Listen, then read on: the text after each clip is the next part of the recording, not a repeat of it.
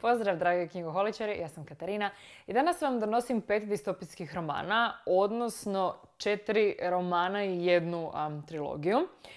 A razlog zašto radim ovaj video je i zato što sam u jednom trenutku zapravo dobila pitanje, molbu da napravim video o distopijskim romanima, ali iskreno najviše ovaj video radim zato jer sam nedavno pročitala jedan roman koji me jako a, pa... Da, ne znam koja je točna, točna riječ koja bi to najbolje opisala. Ostavio me malo, imam nekakav osjećaj malo onako um, beznađa e, i dosta je težak roman. I to je zadnji roman koji sam pročitala nakon karantene, što je isto možda nije bila najbolja odluka, budući da sam na kraju izolacije i ja jako htjela izlaziti i družiti se i falili su mi određeni, mislim falile su mi određene stvari koje inače svi radimo, tako da možda u tom trenutku kad sam uzela tu knjigu je to bio i neki krivi trenutak. U svakom slučaju knjiga je dosta emotivna na mene. ostavila nekakav trag i utjecala i to je zadnji roman koji ću vam u, ovoj, u ovom videu prezentirati.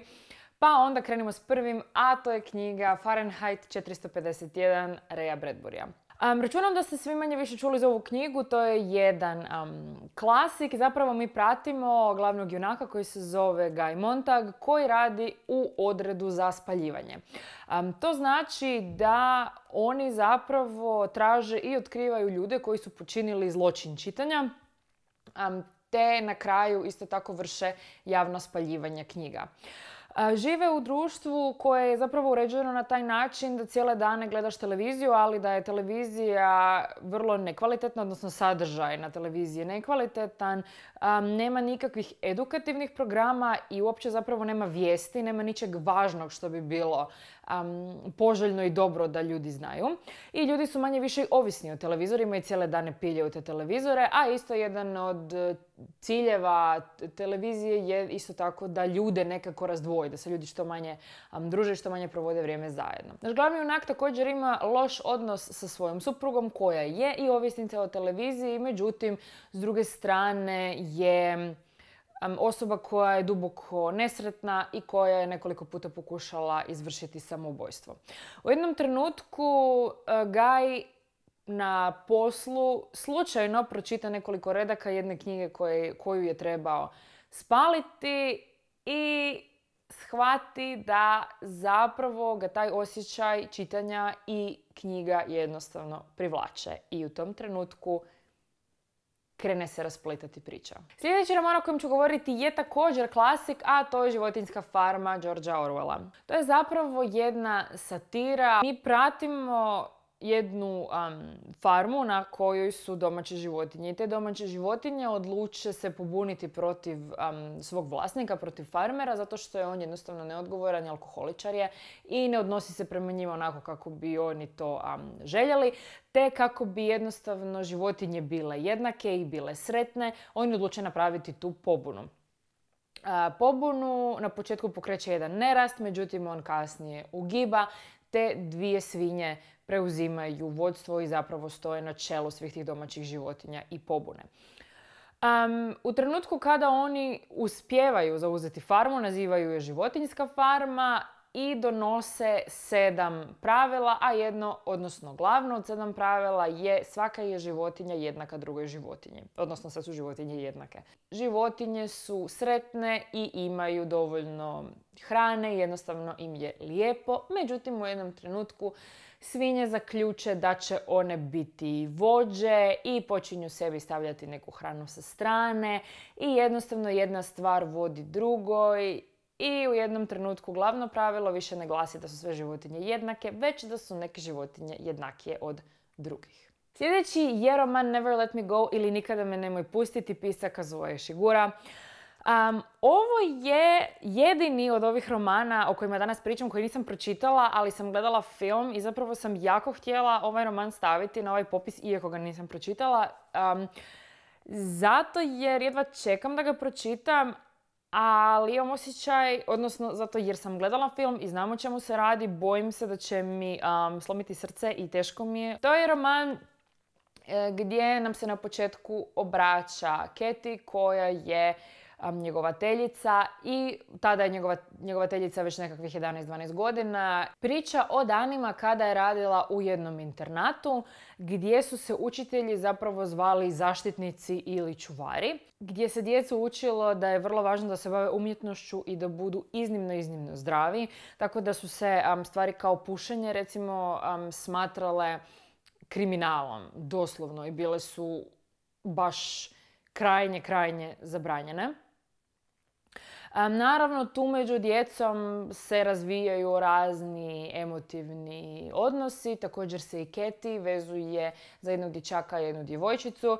Međutim, u jednom trenutku jedna od učiteljica ili od čuvarica zaštitnica se izbrblja pred djecom i otkrije im jednu vrlo važnu stvar o njihovom životu koja zapravo promijeni kompletan kompletan njihov svjetonazor i jednostavno poimanje svijeta i života. E sada dolazimo na trilogiju igre Gladi sa Zen Collins. To nekako računam da ste svi manje više um, pročitali. Ako niste pročitali da ste pogledali, da svi znaju o čemu se radi. Dakle, ovo je postapokaliptična Amerika, odnosno Sjedinjene američke države, koje više zapravo ne postoje, već se zovu Panem. Zbog toga što su se okruzi nekada u bližoj prošlosti pobunili i zapravo pokušali napraviti revoluciju i svrgnuti Kapitol s vrha. Kapitol sada svake godine iz svakog okruga uzima jednog mladog dečka i jednu mladu djevojku te ih vodi, odnosno tjera na igre gladi gdje se oni zapravo bore do smrti i ostaje samo jedan pobjednik. A glavni lik je Katniss Everdeen koja ima 16 godina i koja u trenutku kada zapravo je njezina sestra biva izabrana da ode, dakle, kao djevojka iz njihovog okruga na igre gladi, Katniss uskače i jednostavno želi zamijeniti svoju sestru te odlazi umjesto nje. ne znam, mislim, meni... Dakle, ja imam relativno, mislim, kompliciran. nekakav čudan odnos sa igrama gladi. U smislu da mi se druga knjiga jako, jako sviđa. Treća knjiga mi je... Jako sam nečitana i elokventna, koristim se svojim riječima. Dakle, treća knjiga mi se ne dopada, ali stvarno jako ne dopada, zato koristim zvukove valjda da objasnim kako se točno osjećam. A prva knjiga mi je u redu, međutim, po meni prva knjiga promašuje poantu. Jednostavno, kada sam čula o čemu se radi, kao taj kratak opis, da zapravo su to neka vrsta gladijatorskih igara, ono što kažu kruha i igara, da zapravo žrtvuješ neke ljude kako bi drugi ljudi to mogli pratiti i imati nekoga za koga će navijati, da se od toga na kraju krajeva baš naprave stvarno nekakve igre, pa onda ljudi imaju i sponzore, pa onda ti koji pobjede budu nekakvi junaci, nekakvi slavni ljudi. Mislim, stvarno, to mi se sviđa i sviđa mi se ta ideja zapravo tog, tih igara kao takvih. Međutim, Prvi roman me razočarao zato što Katniss više vremena provodi na drveću bježeći zapravo od kompletne situacije nego um, boreći se što je možda zapravo i u redu budući da je ovo roman za mlade. Ali ja jesam bila mlada kad sam to čitala, imala sam nekakvih, ja mislim 17, 16, 17 godina kad sam čitala tako da sam zapravo bila u tom u toj predviđenoj grupi um, što se tiče godina um, za čitanje ove trilogije. Međutim, meni je falilo da bude malo više hardcore um, taj, taj prvi nastavak. Drugi nastavak mi je onda stvarno super uzbudljiv i napet i svašta nešto se izdešava. A treći roman, mislim da sad kao ne spojlam kraj, jer ako kažem s čim imam najveći problem, to je praktički spoiler.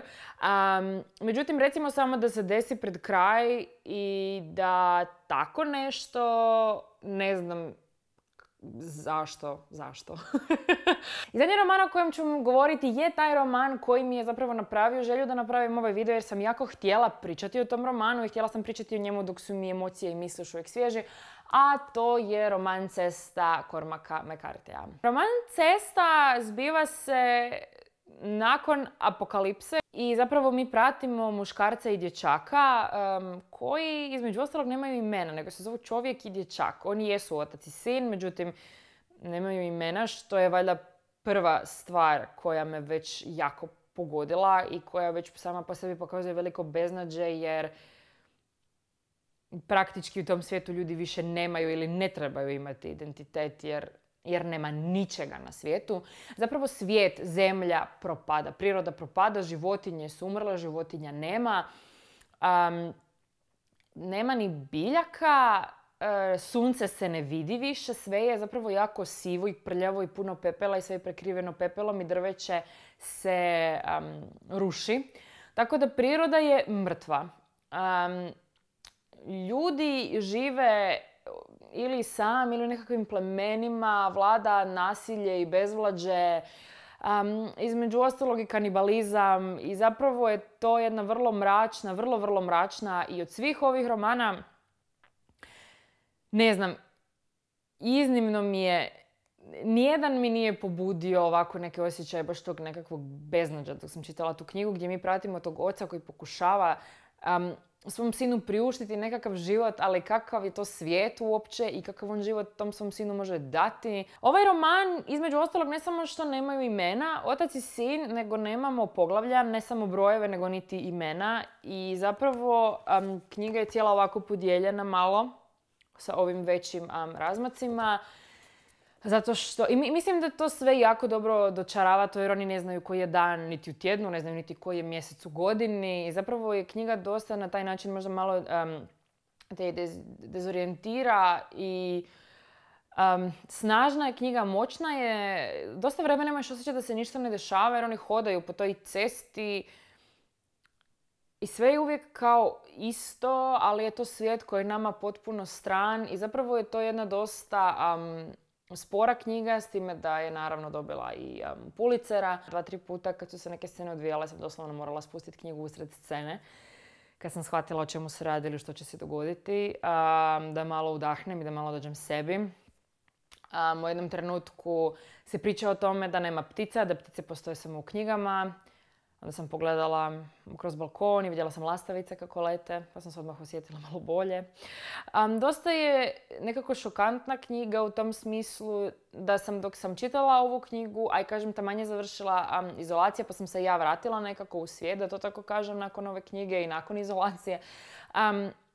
shvatila koliko toga ima u ovom svijetu i koliko sam zapravo slijepa za sve te neke stvari, jer kao pa da ptice lete svaki dan.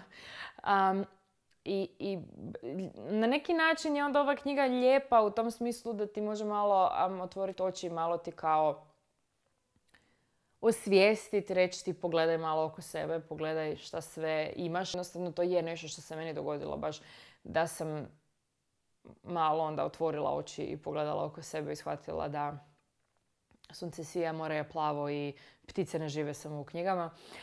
Um, pa je zapravo na taj način možda jedna knjiga koja te može malo um, razveseliti, ako to mogu tako reći. Nešto još što bi zapravo samo htjela reći o knjizi je da nije štura samo u tome da u imenima, općenito imenima i u poglavljima, nego i u opisima, što je zapravo s jedne strane jako dobro, jer neke stvari ne želiš da ti se jako lijepo opiše. E, jako puno toga shvaćaš neposredno, jako malo toga ti je zapravo objašnjeno. I zapravo činjenica da tvoj um onda popunjava i spaja sve te neke detalje, koliko god su šturi i škrto opisani ili uopće nisu opisani, puno toga ti nije objašnjeno, ali sve shvaćaš.